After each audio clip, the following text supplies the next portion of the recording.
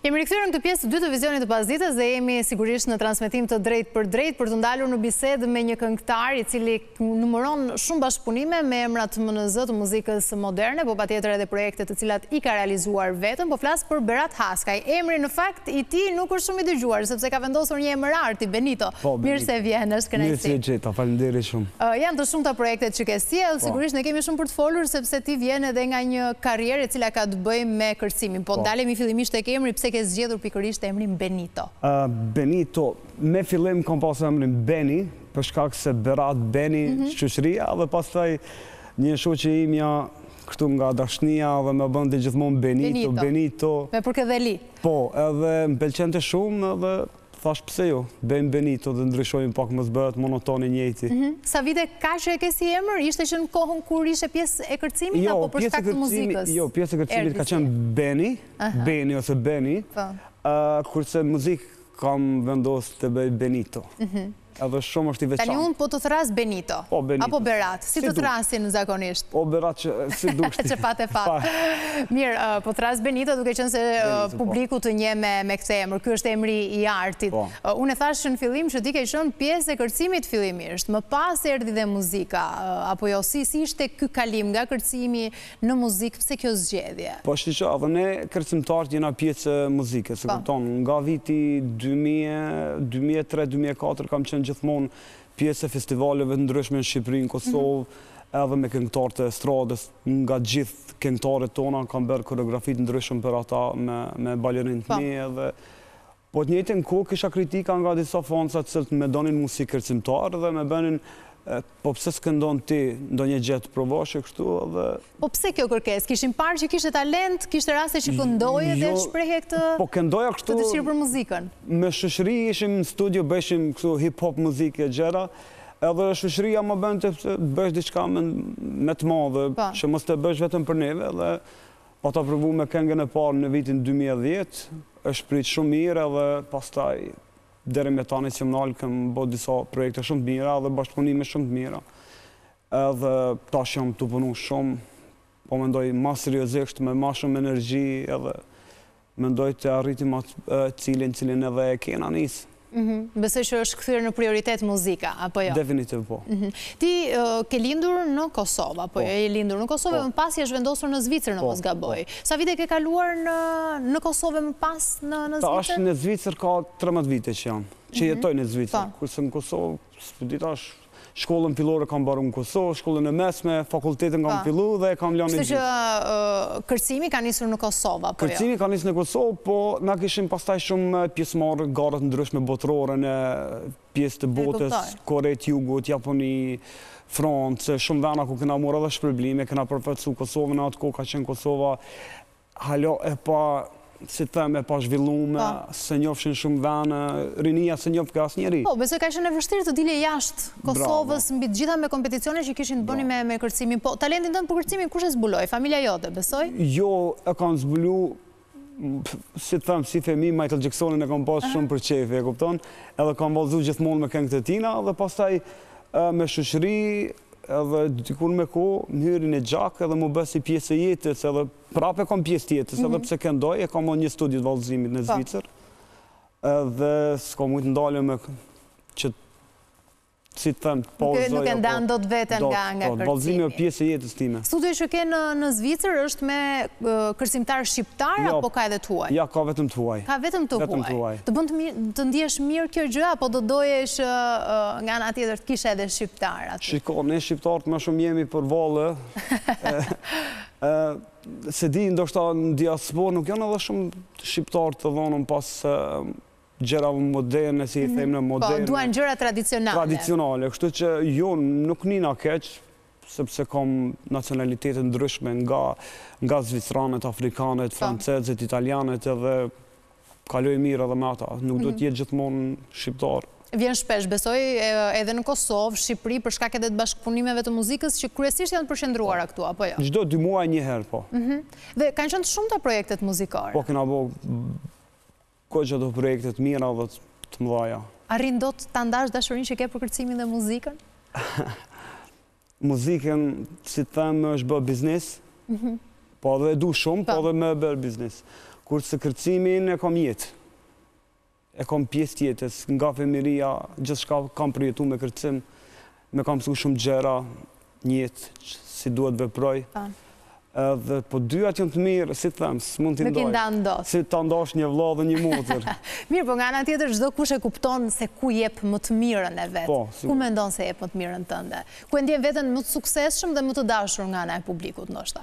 Them drejtën në muzikë, kam bërë shumë publik më të madh. Edhe më shumë njerëz të cilët edhe më përcjellin, më shkrujnë gjatë gjithë kohës. Po dhe vallëzimi nuk është që nuk më njofin nga ana vallëzimit, ka mhm. edhe shumë nga ana vallëzimit që më njofin. Po muzika është ajo për momentin që më ka hap një bujë, i themi ne një një një shtyrës i karrierës edhe më më të madhe. Mhm.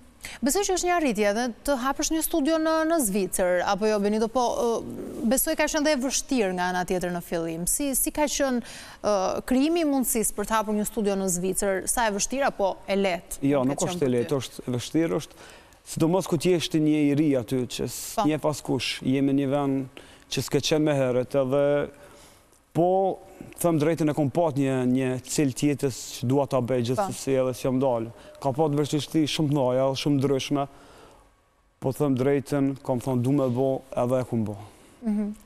Edhe pse tash punoj vetëm për festivalet zvicrane, sa i përket vallëzimit, Nuk ka ndonjë festival apo ndonjë aheng shqiptar, tash ma shumë po këndoj nëpër ahengje kështu koncerte i themi ne, koncerte shqiptare, po nga ana e vallëzimit kam punë ma shumë me me shtet zvicran, me festivale zvicrane.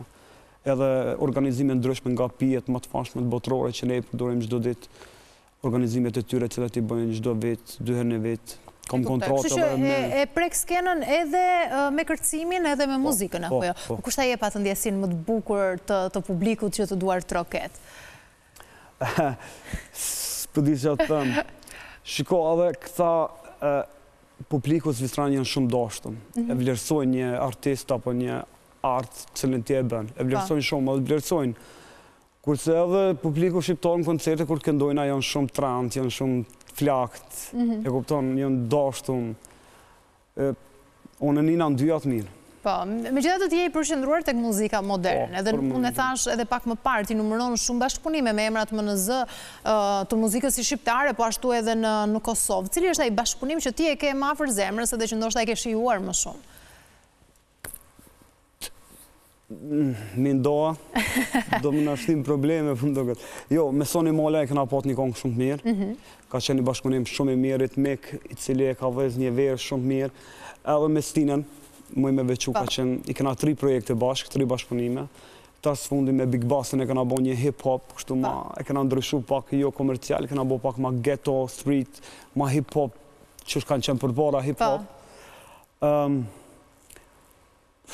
Është e vështirë ndonjëherë, sidomos kur ke disa bashkëpunime. Edhe kur i ke shoqëri, është problem që të thush me këto ndina ma mirë, sepse ne jena çdo ditë bashkë, edhe çdo ditë kontaktojna. Tash të them, ti je ma mirë si ajo kolegja jote që udhëheq tjetrin emision, Është e vështirë, patjetër. Megjithatë besoj që bashkëpunimet jo gjithmonë arrihen lehtësisht. Sa sa e vështirë ka qenë për ty edhe për të arritur tek disa emra, të cilët janë të formuar e kanë krijuar karierën e tyre prej vitesh në muzikë, ndryshe nga ty që fillimisht ke qenë i përqendruar në kërcim dhe ishe duke e krijuar po. emrin, kështu që të duhet një dorë ndoshta për të një mërë. Artistë të ri të cilët nuk kanë njoftësi, apo nuk e njofin, unë kam qenë i gatshëm, sepse unë vetëm i kam njoft gjithë, Kam vallëzu për gjithë.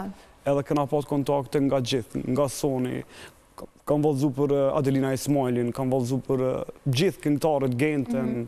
për Elvanën, për gjithë kam vallëzu edhe kam pas kontakt me gjithë edhe kam akoma. Por tash që kam hy në muzikë, disa nga këta që unë kam bërë për ta, janë largu, po Ndoshta, ku e di unë. Pse ndodh kjo sipas teje? S'e di, këtë s'po e kuptoj as vetë unë pse, po shumica nga ta m'i kanë hapë, ne i thojmë m'i kanë hapë dyert. Po. Ndërsa disa të tjerët e kanë mbyllur, ta kanë vështirësuar disi rrugën. Disa të tjerë që kanë bërë për ta shumë, për shembull, ka ndodhur rast që kam ik pa lekë, kam organizu me njëzet valltarë, për t'ia bërë një koreografi një festival shumë të madh, në Shqipëri po flas, Kur kam hy në muzikë, kur kam telefonu, kam kërku që të bashkëpunojna, edhe këso gjëra, kanë qenë të hapër, po të hapër, si të them, ok, shikojmë, bëjmë, e s'ka ndodhur kurrë. Dhe s'ka ndodhur kurrë. Ti njihesh në fakt edhe për tipin tënd të drejtpërdrejtë, për t'i thënë gjërat po. siç janë. A ka një emër që mund ta bësh dhe mund ta thuash që ke mbetur i zhgënjyer për shkak se ke bërë për të? Kështu siç e thua, pra që ke ofruar ndoshta atë që ishte pasioni yt kërcimi, grupet e tua dhe nuk ke marrë gjë në këmbim. Cili është këngëtari nga i cili ke mbetur i zhgënjyer? Unë këtë që mund të them është që ka, jo vetëm një, janë disa, edhe këngëtarë që ne i njohim edhe kur jena duke fjetur, po nuk dua të përmend emra, se nuk i dihet ndoshta... Ndoshta arrihet në një bashkëpunim në vijim edhe... Ndoshta nesër takome dhe mund të bëjmë ndonjë Të lashë problem pse e kupton. Showbiz është.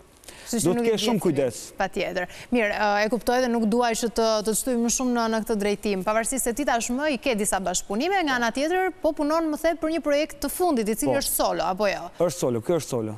është një projekt i cili është menduar të publikohet kur, pak a shumë? Shiko, është një projekt ritmik, shumë i mirë, edhe është ma shumë kështu energjetik, me këcy, m'u knaq, kurse pas këti do të lansoj edhe një bashkëpunim me një një grup shumë të famë, shumë shumë të mirë. Mhm, mund të zbulojmë? Nuk, nuk më lejohet. Nuk, nuk mund të themi. Bisedova ma herët me ata dhe thashë që jam kështu kështu, isha edhe disa emisiona ma herët, edhe që